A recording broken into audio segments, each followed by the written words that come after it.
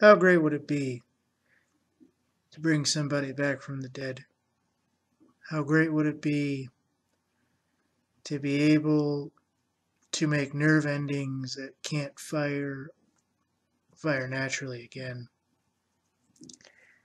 Long lists of people want long lists of things. Two mega biotech companies have been given the green light to start small scale reanimation attempts.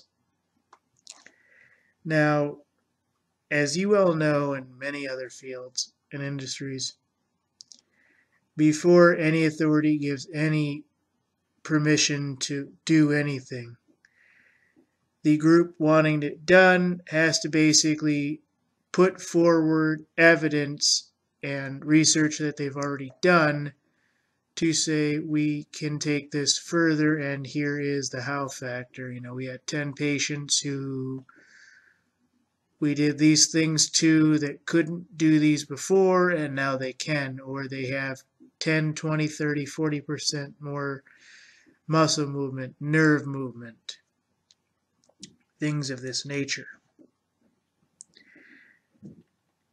Well, in a controversial move, a U.S. biotech company has been given permission to recruit 20 clinically dead patients and try to bring their central nervous systems back to life. Now, this basically means to start reanimating parts of the upper spinal cord where the lower brain stem is located. There's possibility that they could kickstart vital body functions such as breathing, heartbeat, and do amazing things from those functions forward. And no doubt, ladies and gentlemen, from that, if you watch the movie Prometheus, there is a remarkable, remarkable scene. The medical staff of that team examine the engineer's um, head after they remove the helmet. Everything is fine. The engineer's head is almost completely intact, looks almost alive, so they try to stimulate the brain using electronic prods.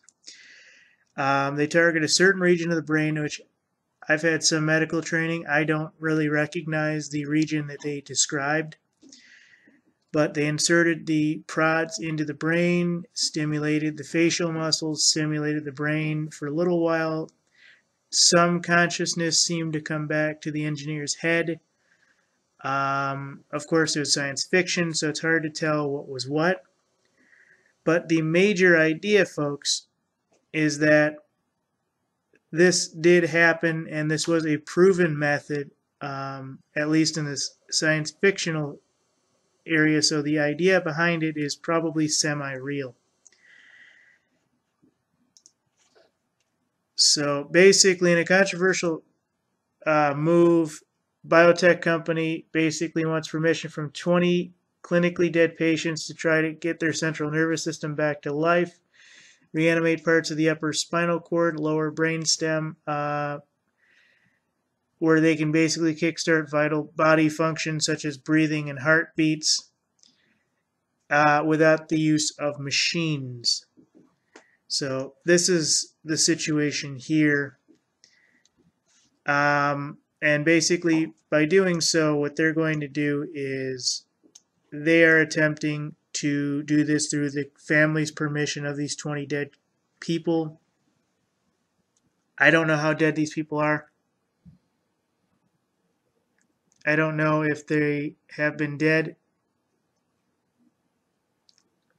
and they're now on lung and heart machines waiting to be have the plug pulled or what the situation is. What I can tell you is that if the private sector has already done it, the government already has the information. And basically, the two companies involved in this are BioQuark Inc. and Revita Life Sciences. Uh, BioQuark Inc. is from the United States, Revita Life Sciences from India. and both have express permission granted from the institutional review boards of the United States and Indian National Institutes of Health to begin clinical trials whenever they're ready. BioQuark says it plans to start recruiting patients for a so-called ReAnima project immediately, which means it's already done. Phase one, no doubt, it's already been done. Non-randomized proof of concept study to determine whether they can reverse brain death using combination techniques including drug administration, nerve stimulation, and laser therapy. That's the best case scenario. Um, the reanimation of the central nervous system being the key goal. Um, looking for any changes after death in the uh, of the brain, layers the tissue between the skull and surface of the brain. In particular, teams are looking to improve patients' pulse, blood oxygen saturation, blood pressure, and respiration.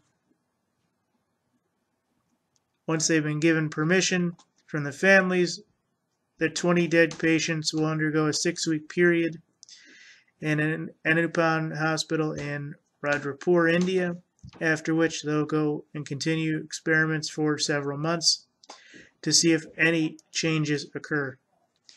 So, this is definitely an interesting thing, folks. And remember, they don't do these experiments if these individuals have not gone out of their way to perform some kind of light research miracles on patients that they've been given permission to do this in before. I mean, they can't just go in and say, oh, yeah, um, we'd like to do this and we have nothing to show you. No. This means they have perfected at least something that should gather results. So, thank you.